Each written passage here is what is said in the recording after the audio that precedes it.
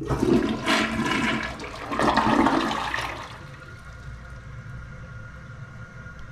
one has a clockwise swirl.